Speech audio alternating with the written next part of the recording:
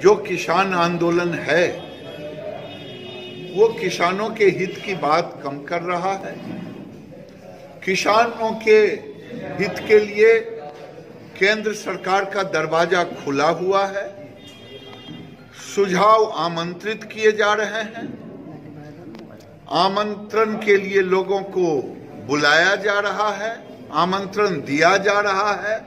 आमंत्रण के सारे रास्ते खुले हैं।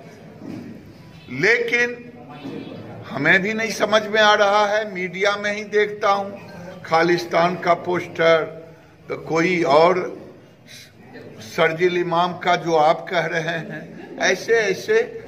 तो ये भटकाने का है किसानों के नाम पर, किसान आंदोलन को, किसान के लिए जो भारत सरकार कर रहा है, उस नीति को भटकाने का काम कर जो लोग भटका रहे हैं, उसका चेहरा तो मीडिया ने बेनकाब कर दिया है कि कौन लोग भटका रहे हैं। कोई मैं नहीं कहा।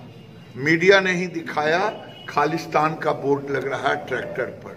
मीडिया ने ही दिखाया कि फलना इमाम का फ़ोटो लग रहा है।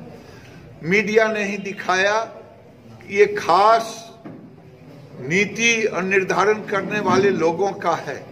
मैं नहीं कर रहा हूँ। मैं तो किसान को आमंत्रित कर रहा हूँ। किसान आए अपनी बात कहे एमएसपी नहीं खत्म होगा ये एक एक चिल्ला मंडी नहीं खत्म होगा लेकिन किसान जो अपना उपज देश में लाभकारी मूल्य पर कहीं भी बेचना चाहता है उसे अधिकार देने का प्रावधान। यही दुर्भाग्य है। भारत सरकार ने कड़ी आपत्ति की है और देश के तमाम उन नेताओं से कहना चाहता हूँ, ये देश का आंतरिक मामला है और जो लोग किसान आंदोलन कर रहे हैं, उनकी प्रतिक्रिया होनी चाहिए कि आखिर कनाडा क्यों, इसमें विदेशी ताकत क्यों घुस रहा है। राहुल गांधी से पूछिए कि आपकी ज़ुबान उस पर बंद क्यों है? विपक्ष के लोगों से पूछिए कि आपकी ज़ुबान क्यों बंद है? ये देश दुनिया में पहला देश है जो देश की बात विपक्ष कम करता हो, दूसरे की बात ज़्यादा। एक ऐसा प्रदेश आज बन गया है जो संघीय ढांचा को तोड़ने का काम किया है, ममता बनर्जी ने। जिसे लोकतंत्र में भरोसा नहीं है। जो हत्या का आधार, जो लोकतंत्र में कहीं भी खूनी तंत्र का, उसमें समावेश नहीं होता।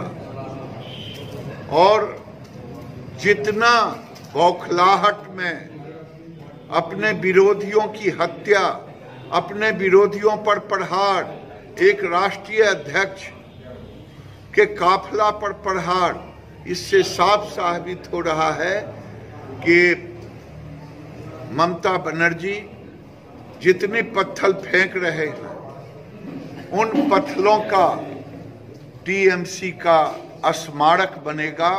नड्डा के ऊपर फेंके गए पत्थल से अगले चुनाव में टीएमसी का स्मारक बनेगा। ममता बनर्जी ये बताएँ कि अब तक 200 प्रतिनिधि राजनीतिक दलों की हत्या किसने कराई?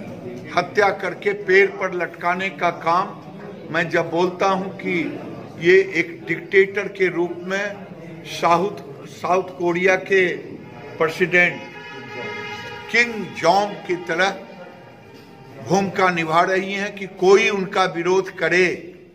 उसकी हत्या कर दो। कोई प्रदर्शन करे, उसकी हत्या कर दो। लेकिन लोकतंत्र में हत्या कम, कहीं स्थान नहीं है। जब चुनाव होगा तो ईवीएम पर बटन ममता को हटाने के लिए होगा। उल्टी गिनती शुरू हो गई है।